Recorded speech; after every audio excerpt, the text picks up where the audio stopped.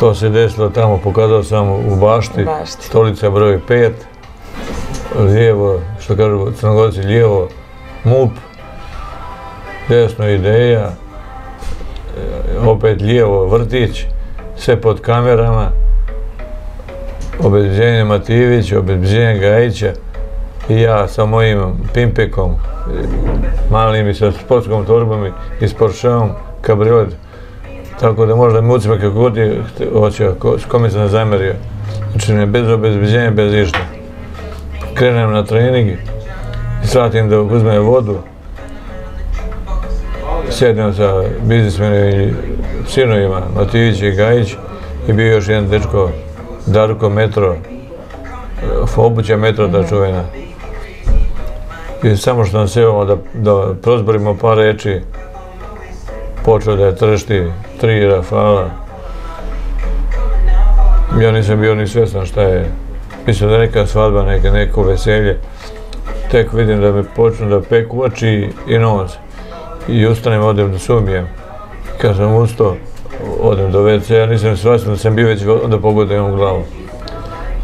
Umio sam se, izlazim napolje, vidim sve razbacane stolove, vidim da je bila neka panika, se ljudi pobjegli. I onda počeo da mi se manta u glavi. Ja sedam za stolicu i vidim da mata nesvijest. I onda pritičali ovi konobari, doneli čašu kada da zostaje krv, pošto je počela krv iz desne slepočnice. I tu panika, ludilo. Vidim samo odjednom, ovaj, posle toga beli mantili. Ja se već onda bio u bolnici. I rekli su mi šta se desilo, ja nisam znao šta se desilo.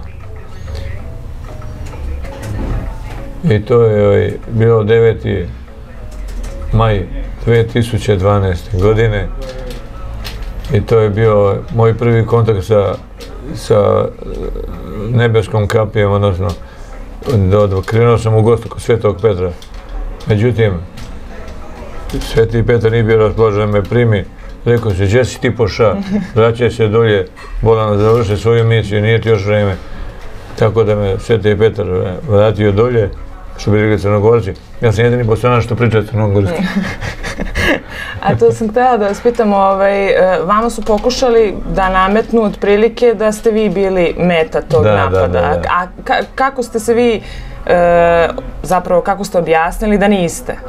Tu je bila neka zapravo logična, Po- logično objašnjenje. Oni su sami upljuvali. Pošto su Veljene već proglasili mrtvim, Mhm. odmah su novine krenule, prvo je Blic napravio propast.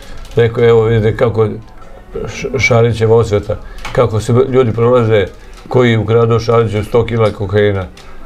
Kao da sam ukrao 100 kila krompira, tako je bilo. Da.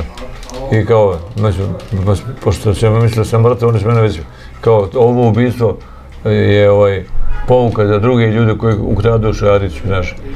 Onda opet se upecaju ovi drugi iz eh, NS, eh, portal 021, izbor kao.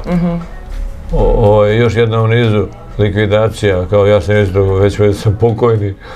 Likvidacija jedini preživili iz sive zone ovaj, koji je dilovo, kao ja sam dilovo za Ždarka Šarića, ja sam Darko dilir i za Elenaš, ja sam dao pare na, na kamate to sve najstarije, zato što su mislili da sam ja mrtav i onda daj za to ili bilo šta, samo da se što više proda tiraž novinski, Da. kako to već ide. Međutim, kad sam ja ovaj, došao k sebi, onda sam do, do, išao k njima, da, da, kad su me vidjeli, nisu mogli da veruju da sam ja uopšte živ, i onda je nastala panika među tim mafijašima i tim, bojali su se osvete. Međutim, me nije interesovalo nikako osveta, ja znam da me nema niđe u nikih ti, njihovim pričama i da, da je sve to njihova bujna mašta i gdje su ovi biznismeni ovdje što su bili htjeli preko mene da sakriju tvoje prljave radnje.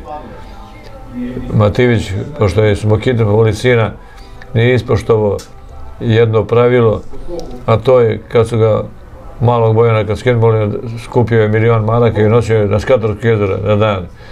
Tiper je bio Luka Dulović, crnogorac, policajac, koji je bio glavni organizator i Tiper je bio iz Bukovca tu iz malog mjesta i bilo još pet pomoćnika, znači bilo ih sedam u igri.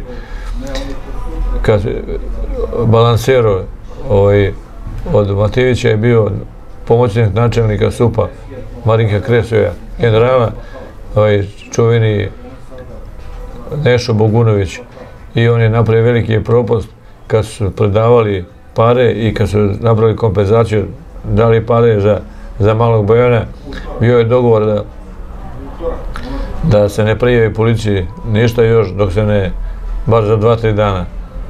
Međutim, po jednom policajac, drugi policajac Bogunović progovorio bi na dupe, on je odmah napravio se da se vuče Matijević, odmah je on brže bolje javio policiji šta se desilo. Ovi su odmah blokirali kompletno akciju i pokazali sve učesnike. Da bi na kraju ovi dobili na sud, dobili po, po 7 do 15 godina robije za, za kidnapovanje za to. Glavni odgovorni, Luko Dulović koji je bio, koji je uzeo pare, kad je bio u zatvoru, stiže helikopter iz Crne Gore, on sede lagano u helikopter i nestaje sa plenom od 980.000 maraka. Šta je pojenta priča?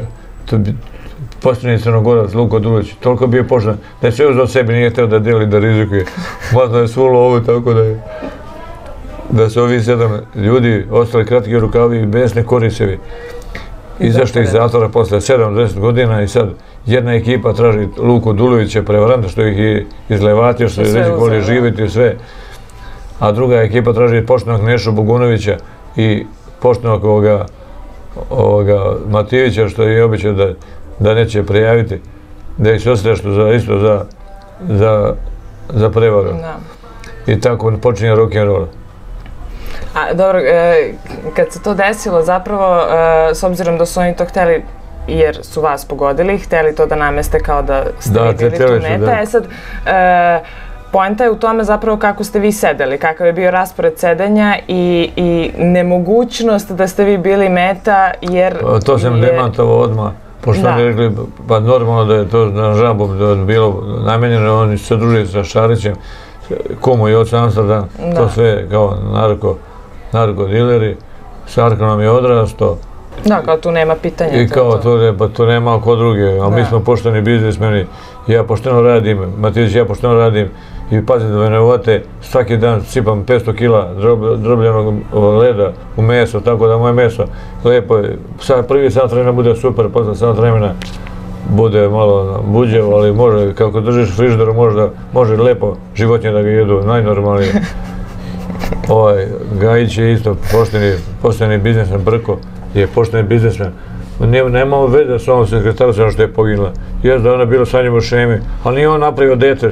Ona je sama sebi stavila spermu iz usta dole i napravila sama sebi dete.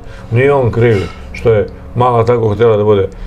Ja ide zašto je kupio stan i auto, to je, to je njegov stan, pa to je manje više.